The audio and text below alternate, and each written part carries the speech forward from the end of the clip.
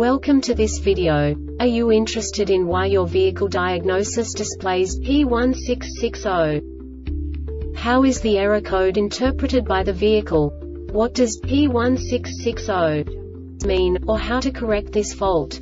Today we will find answers to these questions together. Let's do this. First, let's look at the history of diagnostic fault code composition according to the OBD2 protocol, which is unified for all automakers since 2000.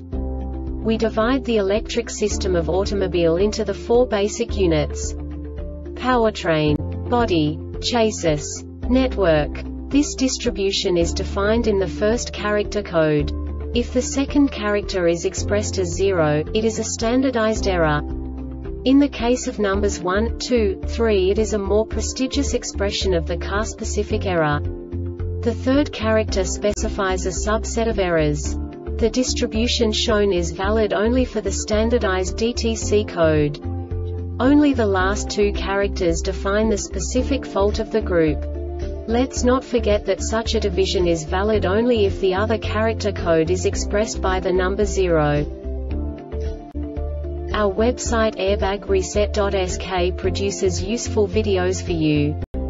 You do not have to go through the OBD2 protocol anymore to know how to troubleshoot any car breakdown. You will find all the diagnostic codes that can be diagnosed in a Infiniti vehicles. Also many other useful things. The following demonstration will help you look into the world of software for car control units. You unbelievably can move the video a bit further. The error code is split into two bytes consisting of 16 bits. One bit is the basic unit that each computer works with. The bit has two logical states. 0, low level, 1, high level. By combining the first two bits, the basic character of the error code is expressed. The next two beats again determine the second character. The last beat styles of the first byte define the third character of the code. The second byte is composed of a combination of 8 bits. The first 4 bits determine the fourth character of the code. And the combination of the last 4 bits defines the fifth character. A single byte conceals 256 possible combinations. We now know in what way the diagnostic tool translates the received information into a more comprehensible format. The number itself does not make sense to us if we cannot assign information about it to what it actually expresses. So, what does the diagnostic trouble code P1660 interpret specifically, infinity car manufacturers? The basic definition is Lost communication with climate control panel. And now this is a short description of this DTC code.